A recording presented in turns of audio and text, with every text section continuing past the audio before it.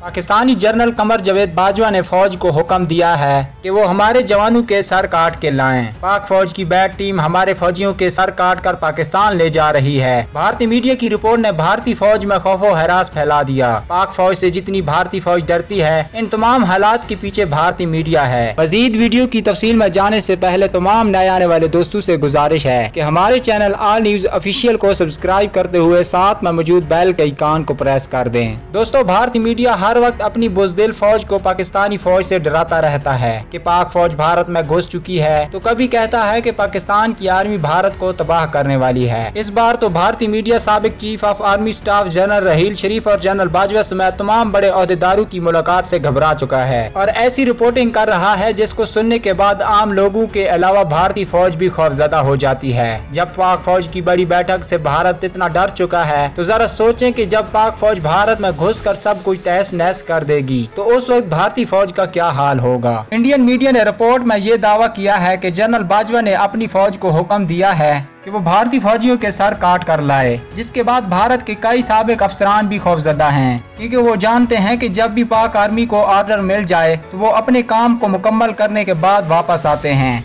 और दुश्मनों का सफाया कर देते हैं। जबकि पाक फौज दुनिया की सबसे बहादुर फौज भी है। दोस्तों, वीडियो पसंद आने की सूरत में पाक आर्मी जिंदाबाद का नारा भी लगा दें।